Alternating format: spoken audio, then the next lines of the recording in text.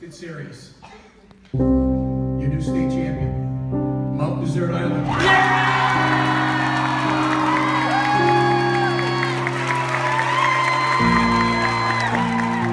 Uh, part of what makes MDI drama so special to me is uh, the welcoming atmosphere. I'm sure you've heard that a thousand times, but like I didn't start drama until I was in my junior year, and joining it even after all of these people had made the friendships, like it, it was so welcoming. I mean, it's kind of just my home. It's where I do everything that is related. The sense of collaborative achievement when it all comes together in the end with the show, like you're watching it and you just think, wow, after all this time we've got here and everyone has contributed.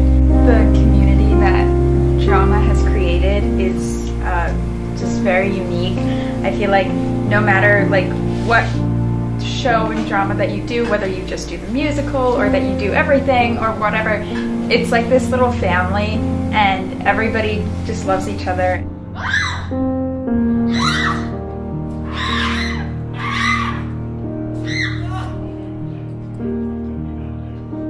came in to high school and I heard about all the different like spring plays and musicals and one act and I thought there's so much to choose from. It was kind of the place where I was able to start my entire high school career because I didn't know anybody before I came here. Um, and it's been said many times before that it's like a family, but it is. But you're also a large family doing a large group project that everyone is really invested in. It's so much fun, and how everybody's really connected through something that they all love. the direct emphasis on like student directed learning like um, it isn't just made and then handed to you to operate like it is all about you are making this experience The theater department has been where I've felt probably the most comfortable being me. It just feels like somewhere you can go and um, be with people that love you and uh, know you for you. I think the people just like in in the drama program just like have fun and like they're not just doing it because it's theater, they're doing it because they really like it. There's a shift in how I act when I like go in go into the theater ready for a rehearsal where I can be so much sillier. It's really special to me and I feel like I've made my best friends here in high school from drama. I ended up remembering a bunch of Sarah Suchek stories from when she was uh, in the theater department. Uh, specifically, it was like warm ups. It was like, uh, uh, babe, beeb, bibe, bobe, boob.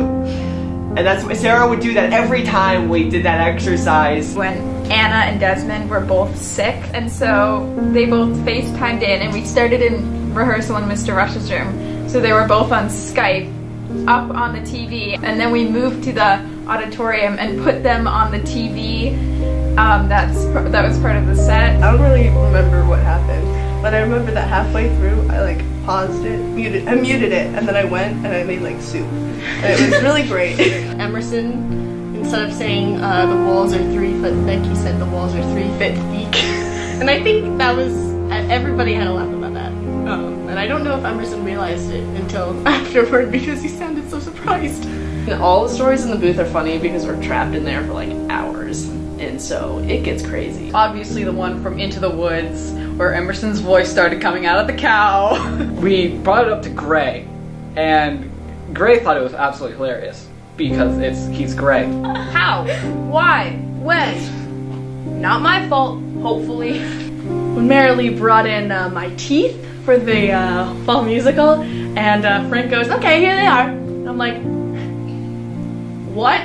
Just during rehearsals, sometimes um, during some of the funny lines, um, Frank would just like laugh. He would just sit back and just laugh at us, like he was he was so smug about what he had come up with.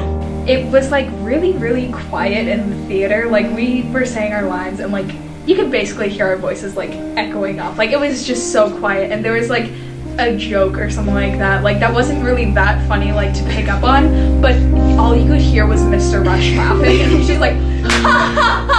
I would have to thank Mr. Rush because not only is he uh, just the director of the whole drama department and like this department wouldn't be what it is without him, but he was also the director of the one act and I feel like that added a huge experience to my high school career. I think that Gray really cares about what he's teaching the text, and he really does want us all to take something away from this.